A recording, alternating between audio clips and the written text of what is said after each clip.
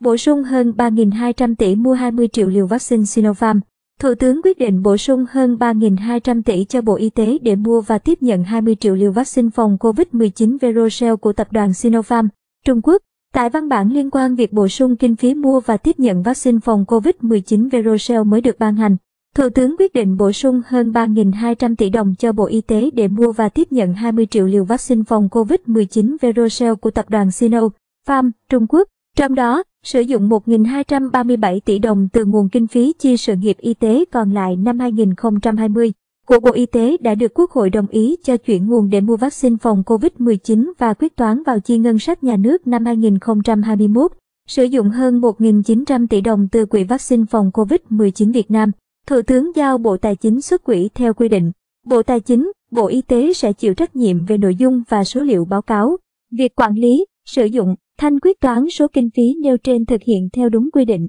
đúng mục đích, tiết kiệm, hiệu quả, công khai, minh bạch. Thủ tướng yêu cầu. Trước đó, nghị quyết của chính phủ ban hành ngày 21 tháng 9 cho phép áp dụng hình thức lựa chọn nhà thầu trong trường hợp đặc biệt đối với việc mua 20 triệu liều vaccine phòng COVID-19 Verocell của tập đoàn Sinopharm, Trung Quốc. Các điều kiện được áp dụng là chấp thuận điều khoản miễn trừ trách nhiệm đối với các khiếu nại phát sinh từ hoặc liên quan đến vaccine hoặc việc sử dụng vaccine, chấp nhận phương thức thanh toán theo các điều khoản trong hợp đồng, chấp nhận không có nội dung về bảo lãnh tạm ứng, bảo lãnh thực hiện hợp đồng,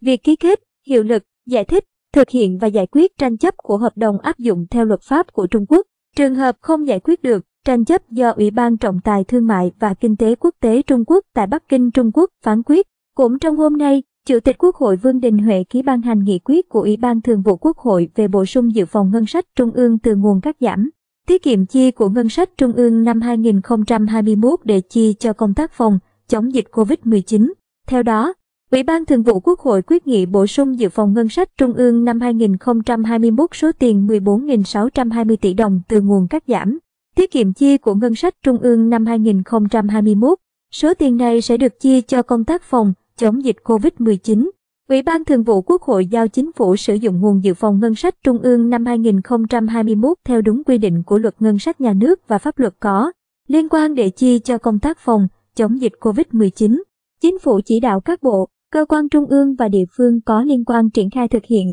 quản lý, sử dụng vốn đúng mục đích, tiết kiệm và hiệu quả. Các bạn nhớ đăng ký kênh và bật chuông thông báo để nhận được video mới sớm nhất nhé.